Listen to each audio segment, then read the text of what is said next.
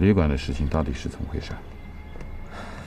我本来想找那个俄国女人，问明她和康子晴之间的关系，没想到半路杀出个程咬金来，把我给打晕了，还他妈差点要了我的命。什么人？不知道，他蒙着脸。蒙脸？那就是说，他怕被你认出来，所以才蒙脸。有可能。会是谁呢？这个先不说。你从那个俄国女人那儿问出什么了吗？没有，还没来得及问清楚，就被打断了。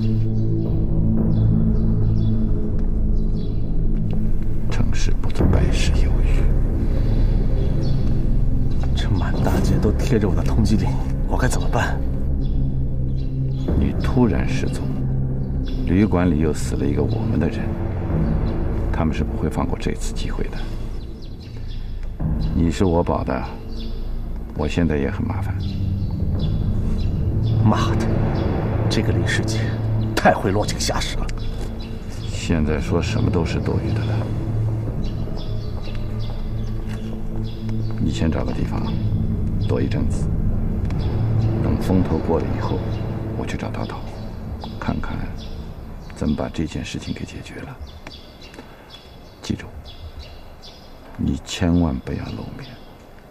李世杰已经放话了，如果发现你只要反抗，就地击毙。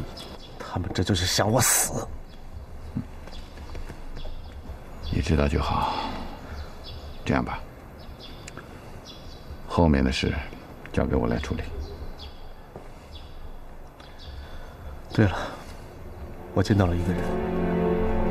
我怀疑这个人和李世杰前几天在火车站遇刺的事情有关。什么人？在哪？是在一个医生那里。我听他的口音，像是从四川那边过来的。他受了伤，但这个伤口一看就是枪伤。这件事情交给我来处理吧。你只要把自己隐藏好，其他的事。以后再说。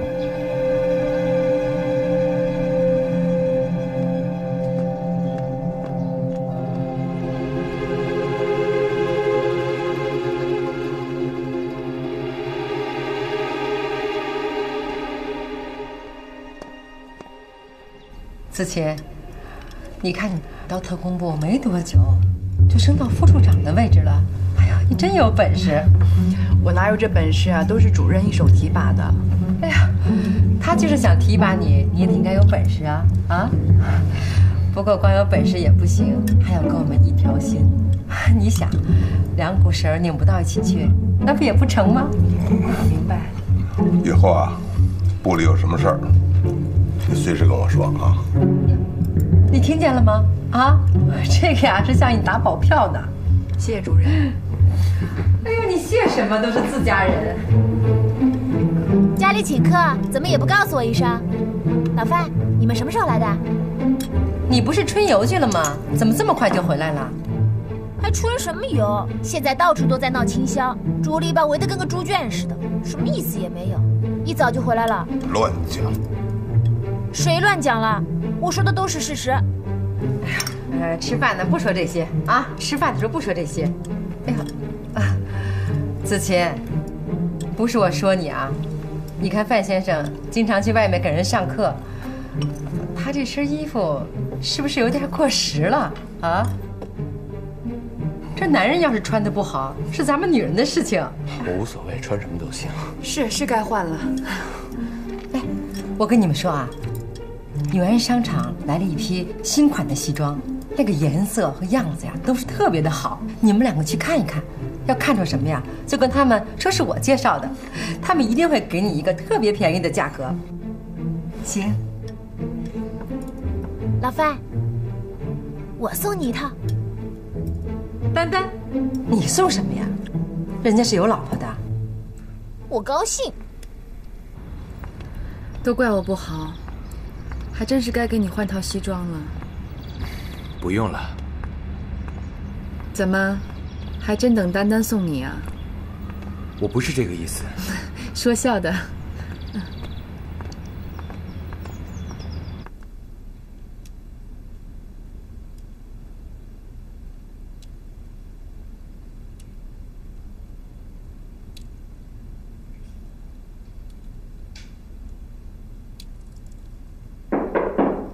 进来。主任，那个女。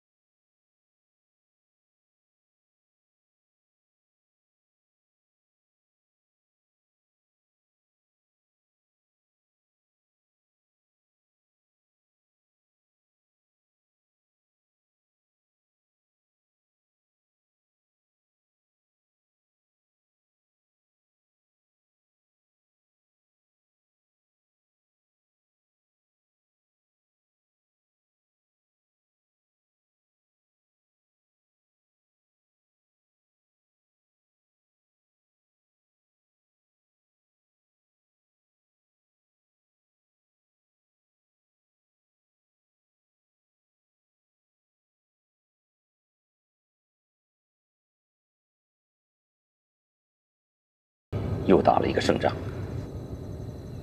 太好了！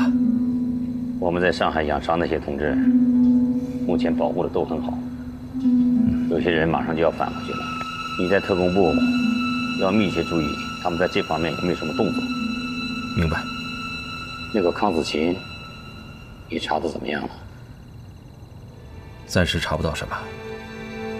不过李世杰现在对他很信任，刚刚提拔他为副处长。他和那个俄国人，就是那个娜塔莎，有什么关系吗？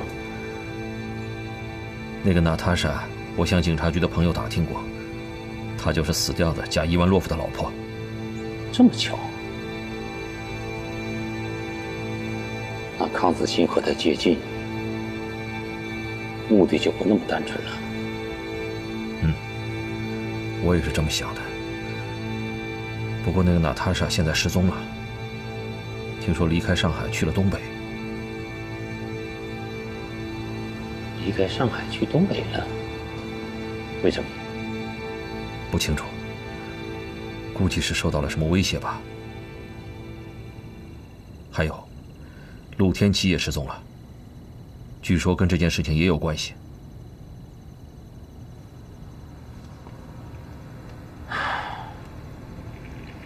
这里面的事情是越来越复杂了。是啊，我一时也没想明白。这个康子琴，《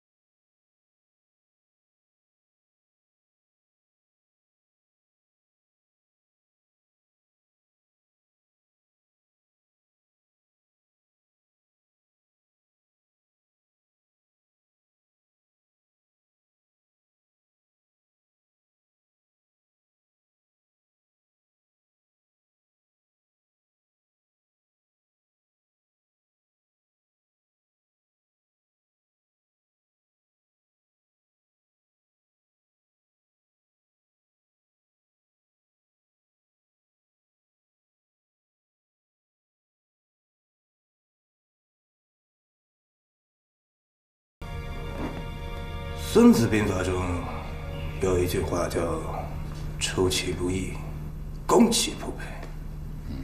李世杰这个老狐狸的嗅觉很是灵敏，你一定要在他有所准备之前全力的出击。一旦有一天他接到消息，知道这个康子琪是假的，那么你找到的那个真正的康子琪，就大大的失去了意义。您分析的太有道理了。他最近刚刚把这个康子清提升作为电信处的副处长，这就是一个很好的契机，至少说明他用人失察，甚至可能是故意为之。以前剿灭抗日地下组织的行动计划，就是在他们家里泄露，可是他却把这个事儿推到了安琪身上。正好，这次啊，也可以把这件事给查清楚。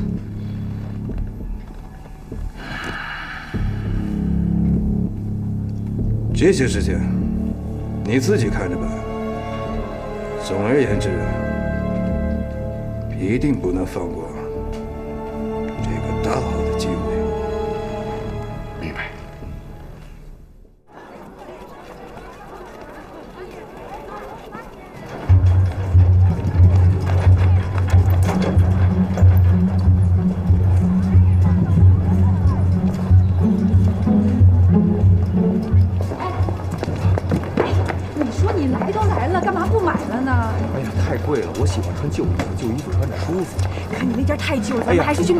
找也该换换了。我找个裁缝做一件。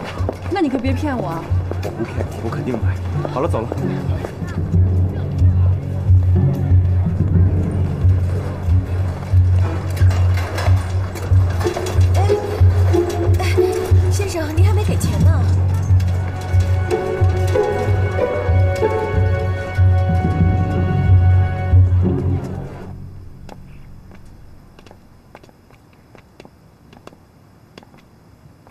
事儿这么神秘啊？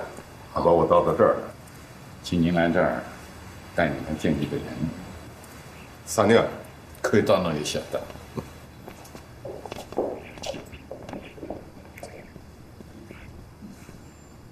不认识吧？可是名字你一定很熟悉。康子清，谢义夫派去重庆军统内部的卧底。李主任您好，我就是康子晴。现在在您身边的那个康子晴是假的。你怎么能够让我相信你呢？谢处长那里有我的资料，可以证明我的身份。那份档案我看过了，照片上的人和你不一样。的确是谢处长派我去的重庆，我们可以当面对质。好，谢义夫已经不在特工，不在了，什么意思？在不在不重要，重要的是你让我怎么能够信任你？真的假不了，假的真不了，没关系。我已经请另外一个康子清过来，一会儿当面说清楚。建平兄啊，你这是在搞突然袭击呀、家伯，你们回来了。范小姐、范先生，有人等你们呢。哎，丹丹，你怎么来了？子清姐，我等你好半天了，怎么才回来呀？你怎么来了？我来给你送西服呀。看，我给你买的，好看吗？啊，不用了，我自己会买的。你买的哪有我给你买的好？是吧，子晴姐？嗯，去试试吧。连子晴姐都说让你试试了，走吧，赶快进屋去试一下。找谁走吧。我找康副处长。康副处长，有点事儿，局里请你马上回去。什么事儿啊？什么人找我？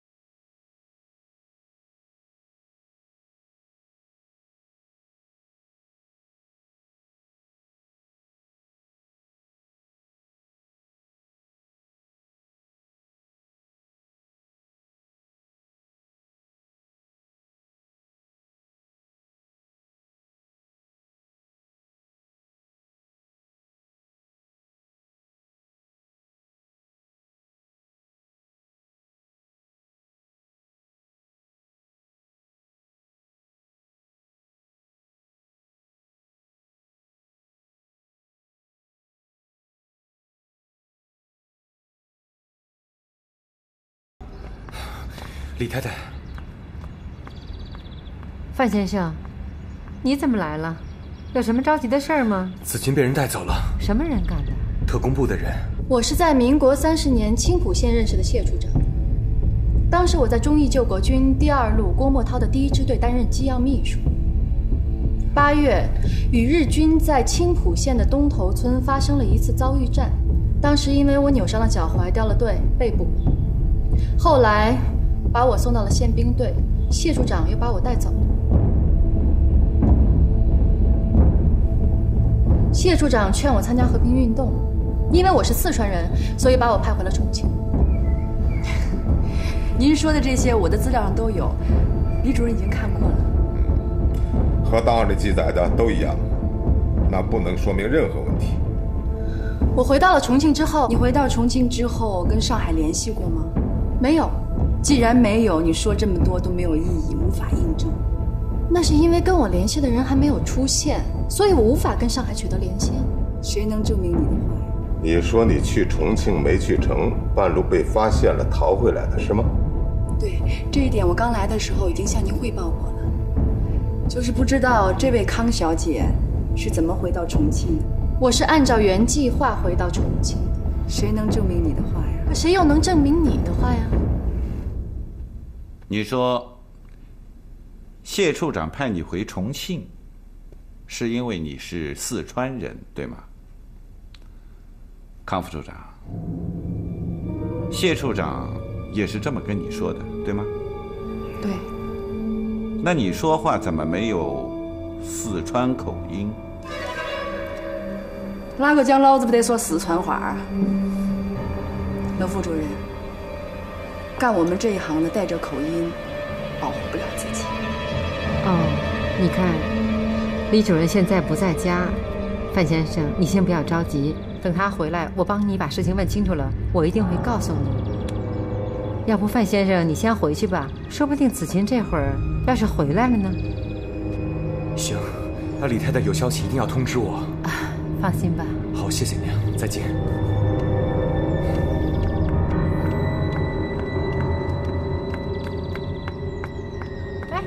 你去哪儿？你去哪儿？你认识哪？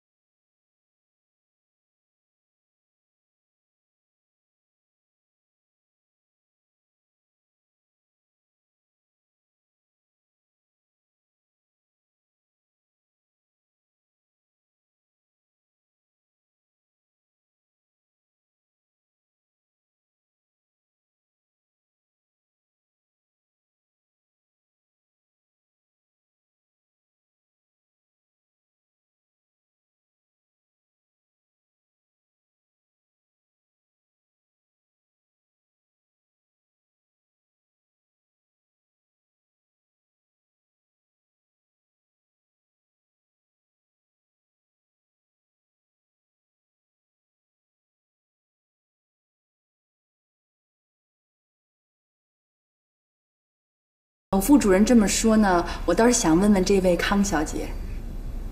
既然你说你是康子琴，那我请问，安琪你应该认识吧？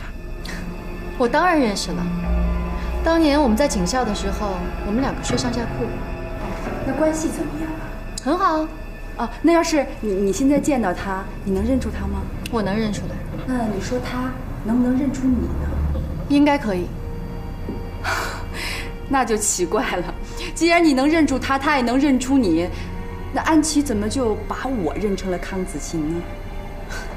我怎么知道你现在说的话是真是假？安琪本身有问题，唐毅一直说他是军统，他的话都不信。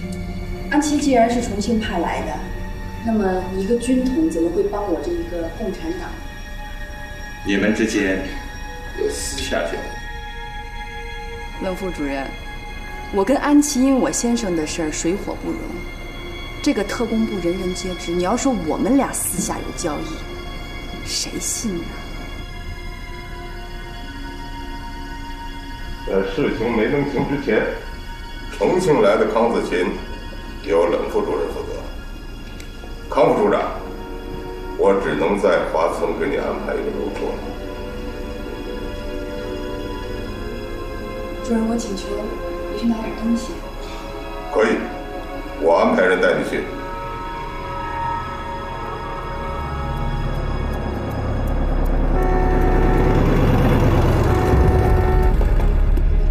康部长啊，啊不，现在应该叫康处长了。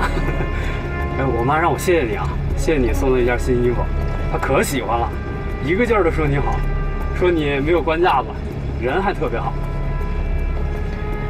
田阿婆是好人，她岁数大了，你以后多照顾照顾她。哎，没事儿，我妈身体好着呢。你别看她快六十了，那一顿饭能吃两碗饭，比我吃的都多。就是不太爱吃肉。这以前没钱，穷吃不起，你说现在有钱了吧，吃得起了，又吃不惯了。哎，我就说我妈啊，一辈子没有享福的命。康处长，你是不是心情不太好啊？刚才没什么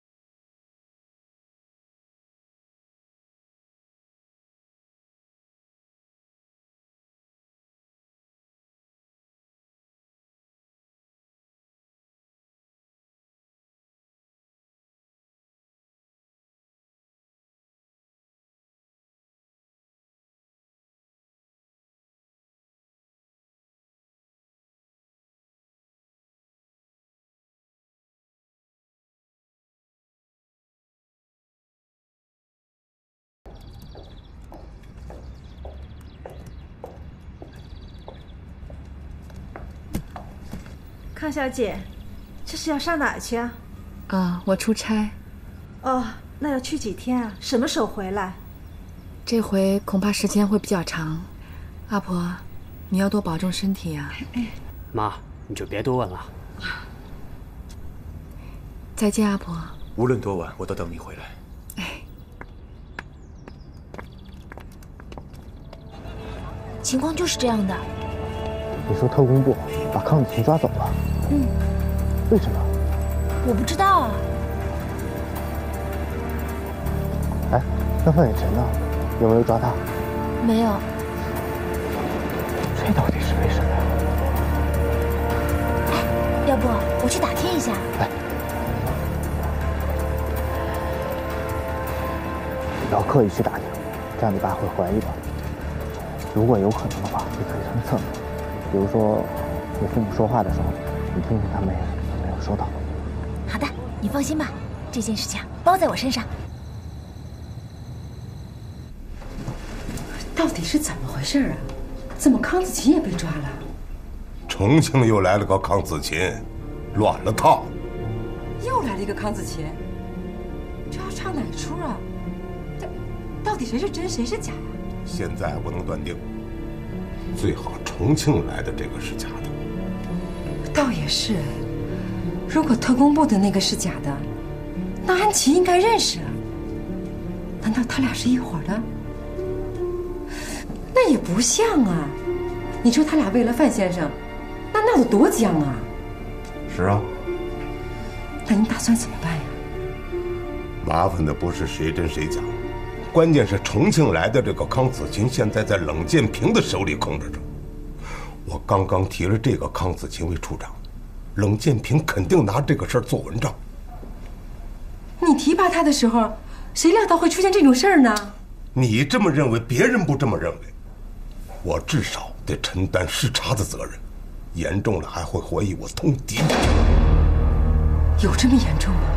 别忘了，安琪刚刚偷了我的清香行动计划，这件事儿还没完呢。这可怎么办呢？那个冷建平他肯定不会善罢甘休的，所以一定不能让他拿到把柄。你想怎么办？如果重庆的来的是假的，那冷建平的美梦就会落空，我还会以此为契机，彻底将他赶出特工部。如果重庆来的这个是真的，现在这个康子钦是假的，我只能在一切落定之前。政治斗争是残酷的，他死总比我死好。大小姐。嘘。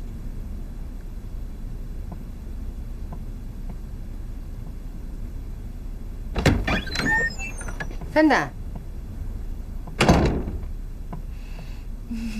你怎么才回来呀？去同学家玩了。我累了，先休息啦。这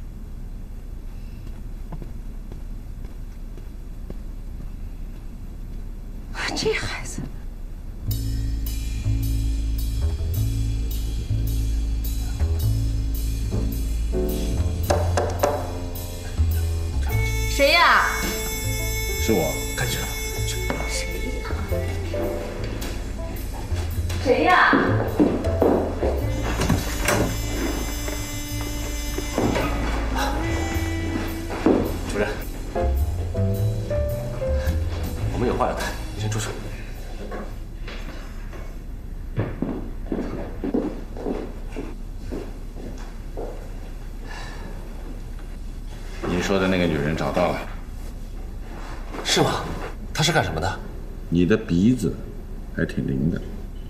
这个女人确实有文章，不过你绝对想不到，她就是真正的康子清。她刚从重庆到上海来，原本是想投奔谢义夫的，可是没想到那天在火车站被一路追杀的军统打伤。你撞见她，是因为她正好去诊所换药。这是真的吗？那个康子晴果然有问题。老天该赢了，我终于能有重见天日的机会了。暂时还不能回去，不能回去。为什么？李世杰还抓住银行的事情不放。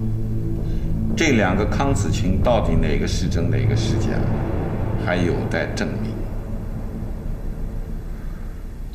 主任，证明什么呀？在特工队那个女的肯定是假的，我从一开始就怀疑她。您让我回去，让我回去，我肯定让她开口交代。我说了，你不能回去，你的通缉令还没取消，现在回去，李世杰肯定把你抓起来。还要等多久？重庆来的那个康子清，是我们翻盘的资本。李世杰刚刚提拔的这个康子清，只要我们能够证明他是假的，就等于给李世杰扣上了一顶通敌的帽子。只要戴上了这顶帽子，即便有伊藤坦护他，他在特工部也待不下去。到时候我取消通缉令，你就可以正大光明的回去了。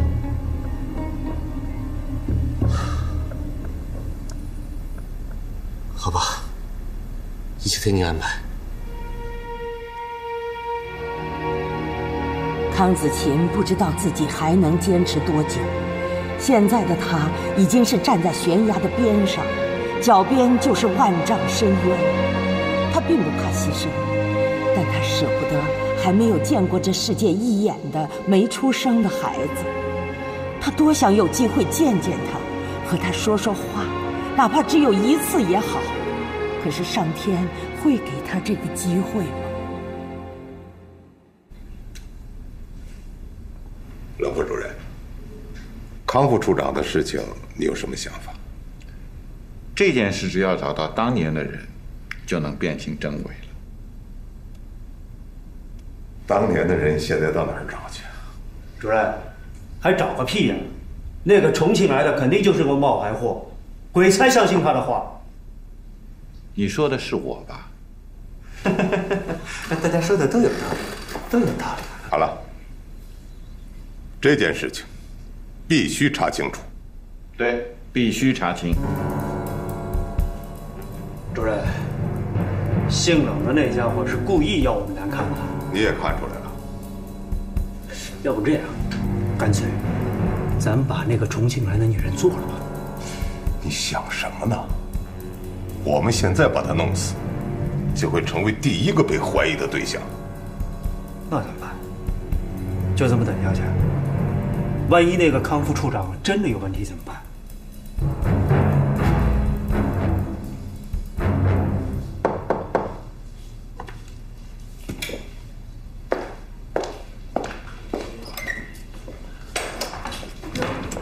主任，您怎么亲自来了？嗯，我还以为是别人来审我呢。谁说要审你了？啊？我就是过来看看。怎么样？住在这儿还习惯吧？以前住过，没什么不习惯的，挺好。嗯。哟，在读书呢。闲着没事干只能看看书了。《三国演义》。主任，坐吧。好好。中国人讲叫“老不看三国，少不看水浒”。其实我想，这两本书都要看。我呢，不会打架，也不会给别人做军师的，无所谓。不，干我们这行的，既要学会动手，也要学会动脑筋。所以，《三国》《水浒》这两本书都得读。哎呀，我这个人不爱动手，也不爱动脑子，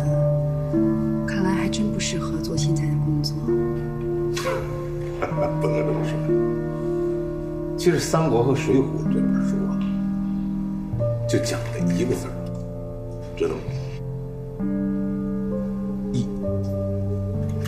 你看《三国》，桃园三结义。古城会，华容道放曹操，讲的是什么？义。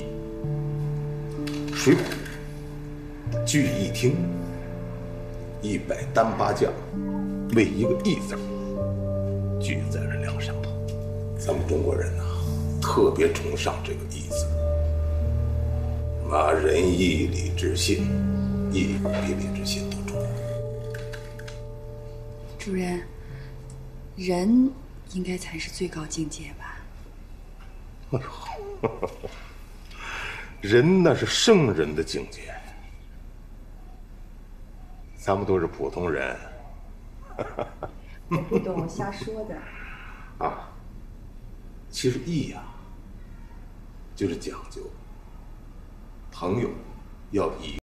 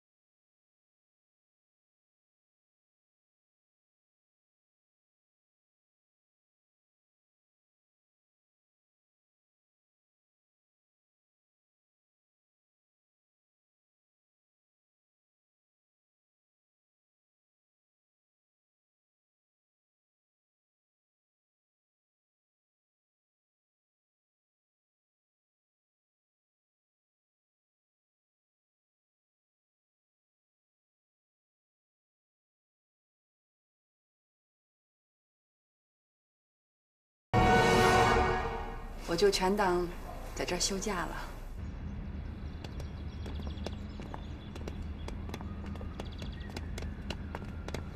主任，出来了，怎么样？他说了没有？他坚持说自己是康子金。我就说嘛，要是假的早就露馅了，还能到今天？重庆那个肯定是个假的，就想混进来冒充。你看到这儿，李逵碰到李鬼了吧？你是这么认为的吗？